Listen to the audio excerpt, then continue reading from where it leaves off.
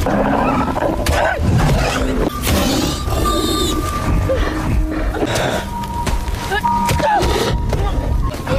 semua, mana suaranya? Berasa lagi konser nggak tuh? Hari ini Mimin ada film super duper mantep. Gimana nggak mantap? Dua monster prasejarah penguasa lautan adu mekanik di film ini. Judulnya Mega Shark vs Giant Octopus. Eh, sabar sabar. Mimin kenalin dulu ya pemain-pemainnya. Ada Deborah Gibson yang berani jadi Emma McNeil, Lorenzo Lamas yang jadi Ellen Baxter, dan ada Vic Chow yang berani jadi Seiji Shimada. Oke, sebelum lanjut ke alur cerita lengkapnya, boleh dong klik tombol subscribe-nya dulu, gratis kok. Kalau udah, yuk langsung aja kita ke alur ceritanya.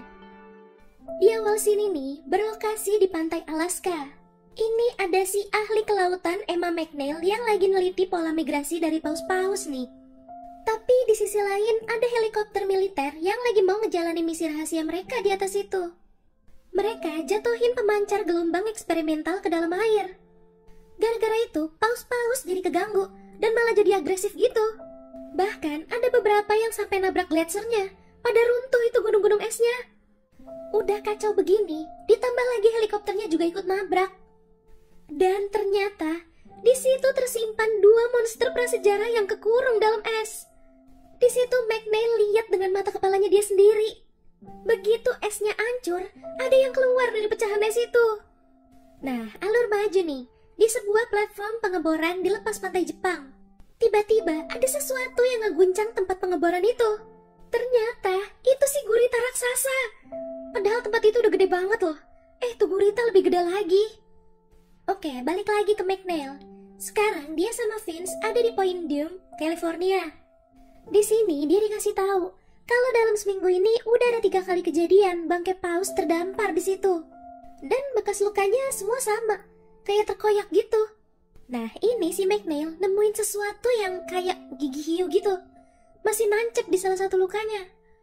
Tapi rekannya, si Dick Ritchie, aduh namanya gak enak banget ya.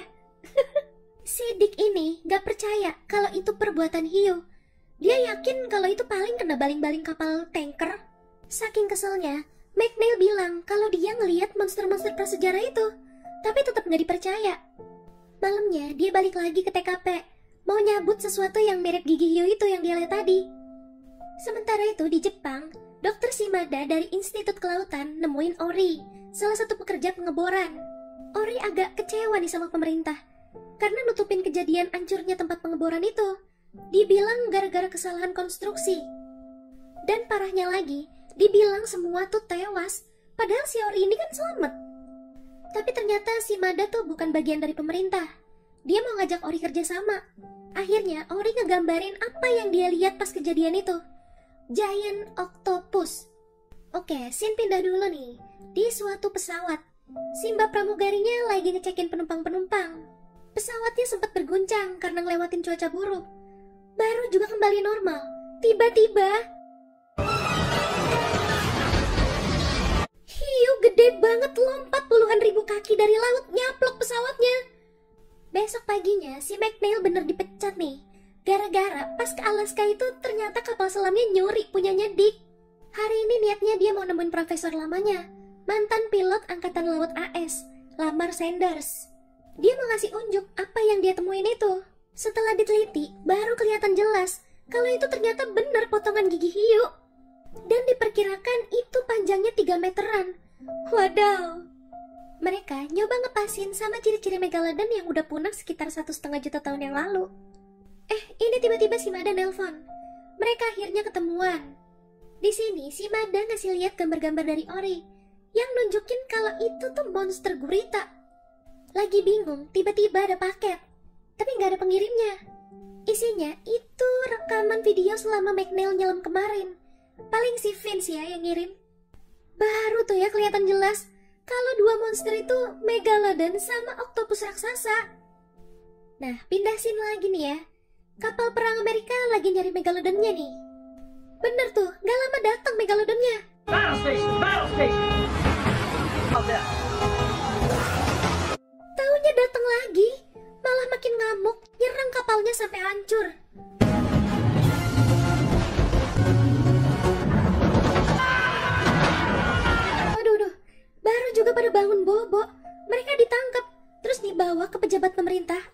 Baxter. Si Ellen Baxter ini mau minta mereka buat ngancurin monster-monster itu. Akhirnya mereka setuju, tapi dengan syarat jangan dibunuh, ditangkap aja buat penelitian mereka.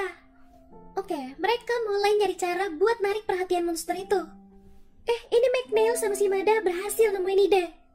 Mereka baru kepikiran kalau manusia bisa saling tertarik karena aroma feromon. Hewan kan juga punya aroma feromon buat memikat lawan jenisnya. Oh iya, buat yang belum tahu feromon itu apa, hmm, cek Mbah Google aja kali ya.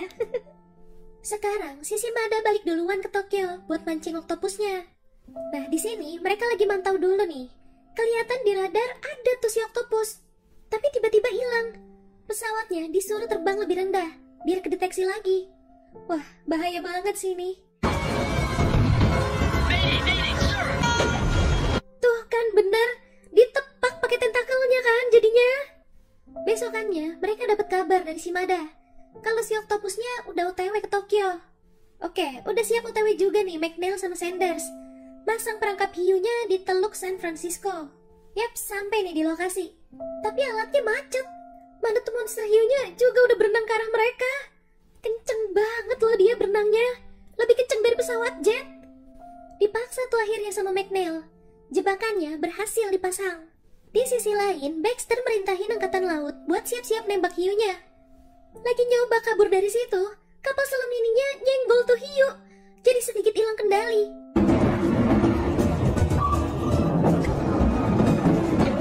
Mulai ditembakin nih dari kapal perang.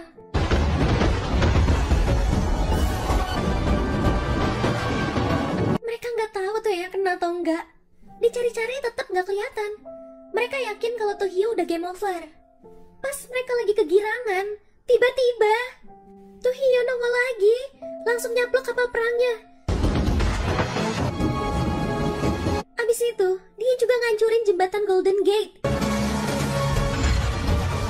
Baxter ngubungin si Mada.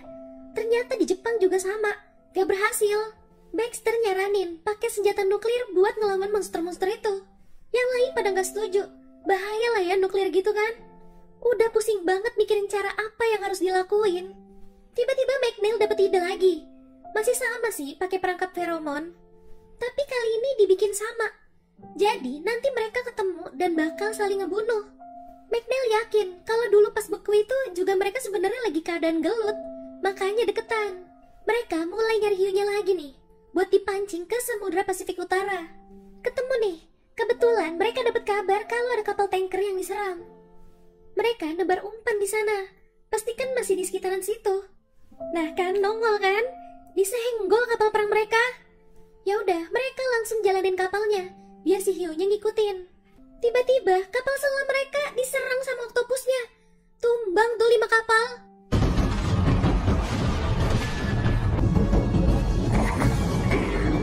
Berhasil kabur dari oktopus. Eh si hiu datang lagi.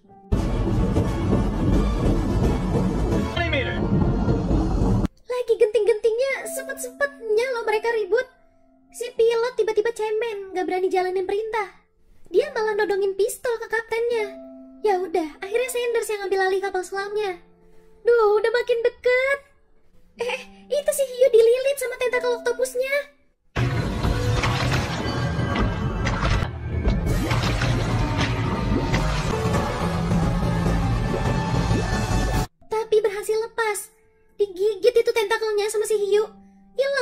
Monster dari radar.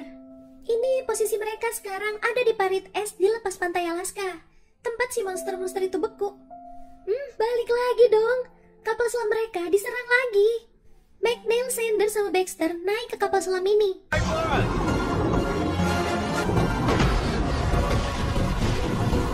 Pas banget tuh hiunya ngegigit kapal selamnya sampai ke belah dua. Semua kru tewas. Hiunya lanjut ngejar kapal selam ini mereka. Uh, selamat bro. Taunya kapal selam Jepang datang terus nembakin rudal ke arahnya. Eh, malah sekarang si Octopus yang datang nyerang kapal selam Jepang. Sengaja nih sama McNeil dibawa tuh hiu ke situ. Jadi kan mereka berdua tuh yang